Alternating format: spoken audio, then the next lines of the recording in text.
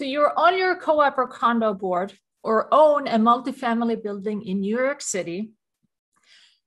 But do you know how long your next FISP is going to take? Do you know how, how much your FISP is going to cost? Do you even know what FISP is? We have a free checklist that you can download. I'm going to put the link in the comments where you can get a checklist for preparing for your next FISP. Hi, I'm Tina Larsson. I'm the co-founder and owner of the Folson Group. We work with co-op and condo boards and apartment building owners to reduce their operating costs to make them greener and more sustainable. And one of the many things that we help co-op and condo boards and apartment building owners with is with their FISP.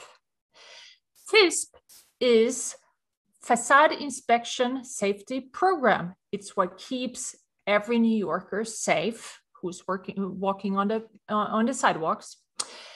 It's also the reason for all the scaffolding in New York, and it is the single most expensive repair for any building.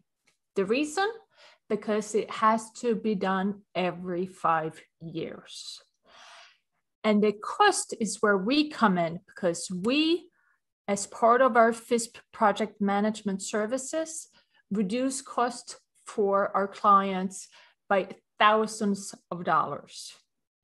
If you want the free checklist, you can click the link in the comments below.